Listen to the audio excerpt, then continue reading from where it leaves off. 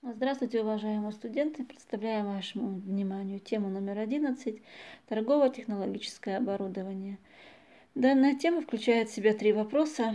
Первый – роль торгового оборудования в рационализации торгово-технологических процессов. Второе – классификация торгово-технологического оборудования розничных торговых предприятий и направление его совершенствования. И третье – это расчет потребностей в торгово-технологическом оборудовании. Перейдем к изучению темы с первого вопроса. А, процесс повышения технического уровня общественного производства путем развития и совершенствования средств труда, технологий и организации производства на основе использования достижений науки и техники – это закономерный процесс. И составной частью технического прогресса и в торговой отрасли является совершенствование технологии и организации торговых процессов. В Республике Казахстан в современных условиях, когда торговлю ведут в основном мелкие торговцы и торговые предприятия, представлены в преобладающей массе своей малыми предприятиями, практически каждое торговое предприятие, в зависимости от его оснащения, ассортимента товаров, торговой площади и квалификации работников, применяет свою технологию. Однако наблюдающееся поступательное развитие экономики страны, сопровождаемое ростом производительности, Э, покупательной способности населения, э, требует расширения торговых площадей магазинов и складов, э, интенсификации торговых процессов. Но интенсификация связана с категорией производительности труда, эффективность и производительность труда торговых работников и сферы обращения в целом оказывают существенное влияние на темпы процесса воспроизводства. Доведение товаров от производства до потребителя должно быть таким же четким, как конвейер современного производственного процесса, иначе торговля неизбежно будет сдерживать производство. Но наиболее трудоемким участком в торговле товарами народного потребления является розничная продажа. Миллионы покупателей ежедневно вступают в контакт с продавцами. Продавцы выясняют спрос, отбирают, взвешивают, э, упаковывают, подсчитывают, выдают товар. Радикальное изменение функций продавцов, э, ликвидация фронта прилавков между покупателем и товаром стало возможным при внедрении в самообслуживание. Самообслуживание основано на использовании нового торгового технологического оборудования, расчетно-кассовых аппаратов, контрольно-измерительных приборов э, на продаже товаров, подготовленных к реализации в промышленных предприятиях. Э, по функциональному признаку назначению различают следующие группы торгового технологического оборудования. Это немеханическое, весоизмерительное, контрольно-кассовое, холодильное, торговые автоматы технические средства для обработки коммерческой информации. Но э, немеханическое оборудование является э, основным видом оборудования торговых предприятий, объединяет большое количество разновидностей и типов торговой мебели. К ней относятся горки, вешала, тарооборудование, прилавки, витрины и другие изделия – необходимые для выполнения операций приема, хранения, подготовки товаров к продаже и, собственно, их продажи. Основными направлениями совершенствования торговой мебели являются следующие. Это расширение и э, постоянное обновление ассортимента, унификация типа размеров э, на модельной основе, стандартизация несущих деталей, э, секционность, внедрение сборно разборочных конструкций, широкое использование современных материалов, снижение материалоемкости, веса и стоимости. А, в процессе, а, в процессе э, приемки, э, подготовки товаров к продаже и их продажи э, в розничных предприятиях производятся количественные измерения.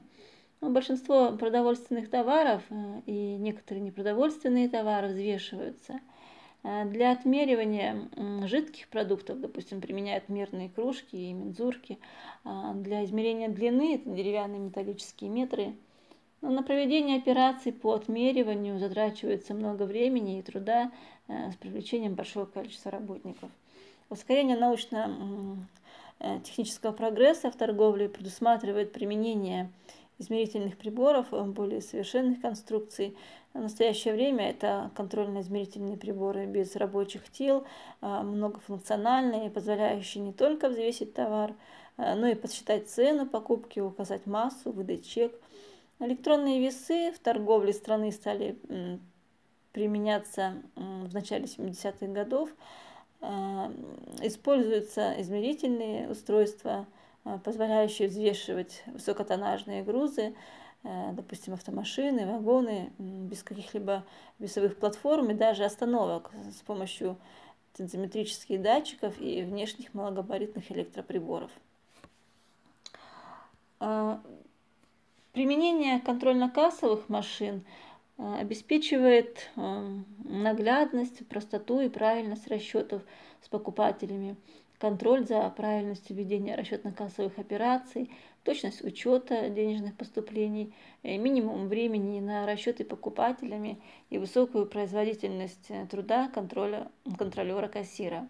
Современный этап усовершенствования кассовых машин характерен э, переходом от электромеханических кассовых аппаратов и устройств быстродействующим электронным контрольно-регистрирующим приборам на интегральных схемах. А, холодильное оборудование торговых а, предприятий призваны обеспечить непрерывную холодную, холодильную цепь а, при движении скоропортящихся продуктов от производства к потребителю.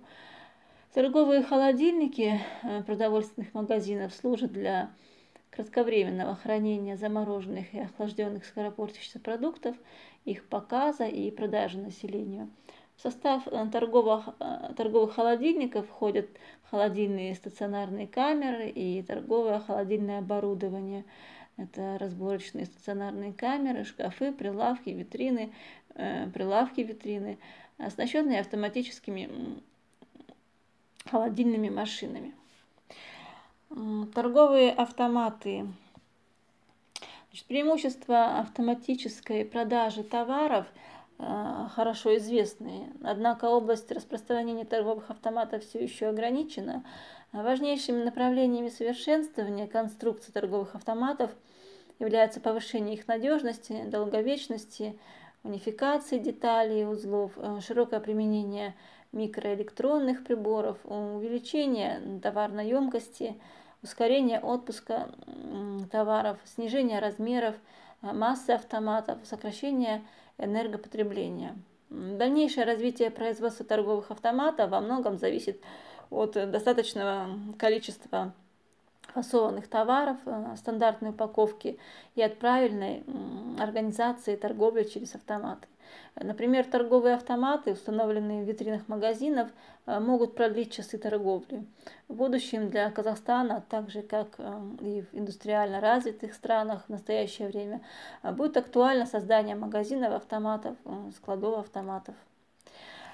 Подъемно-транспортное оборудование представляет собой совокупность машин и механизмов, необходимых для выполнения в торговых предприятиях тяжелых и трудоемких работ, до погрузки, разгрузки, перемещения и укладывания товаров. К ним относятся лифты, тележки, конвейеры, краны, погрузчики, столы подъемные, уравнительные, погрузочно-разгрузочные механизированные комплексы. А, при решении вопросов технического оснащения магазинов особое внимание должно быть уделено выбору типов и определению его оптимального количества.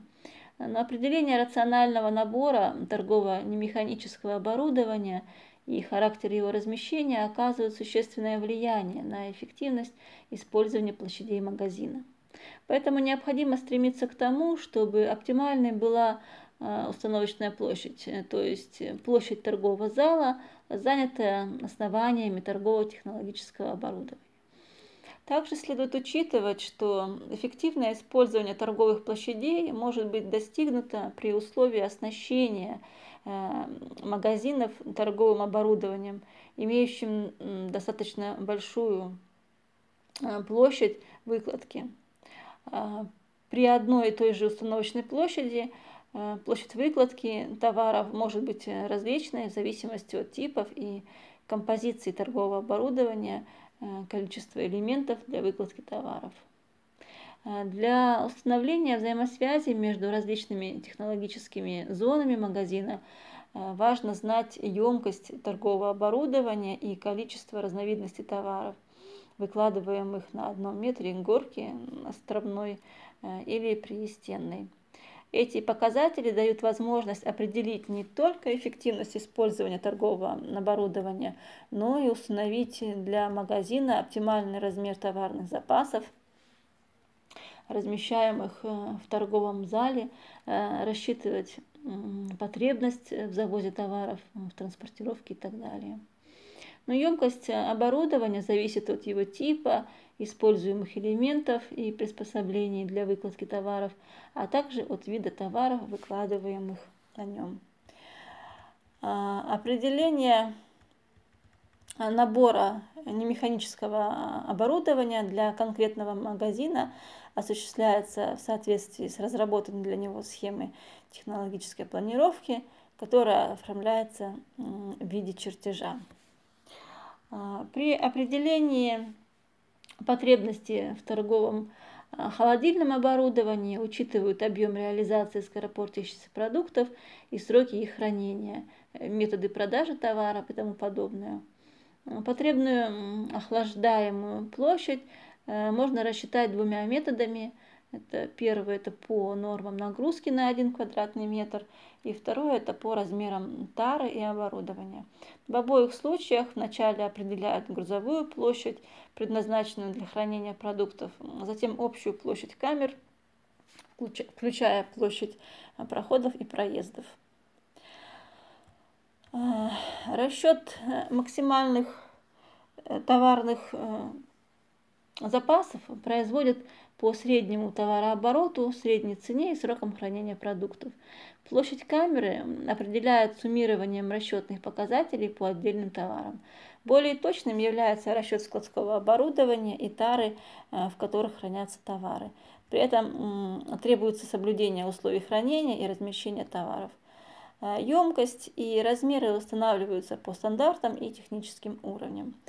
Расчет охлаждаемой площади при штабельном хранении товара в таре прямоугольной формы производится по данной формуле. А, по а, площади, необходимой а, для размещения товаров в таре, подбирают тип и количество немеханического складского оборудования, площади которых составляют потребную грузовую охлаждаемую площадь. А общую площадь определяют умножением на соответствующий коэффициент перевода грузовой площади в общую.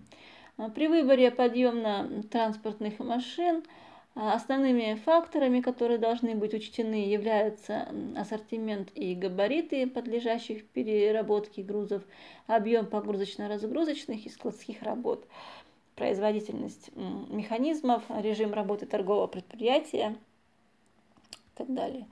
Э, и количество подъемно-транспортных машин определяется по следующей формуле. На данном вопросе мы закончили изучение данной темы. Всего доброго, благодарю за внимание.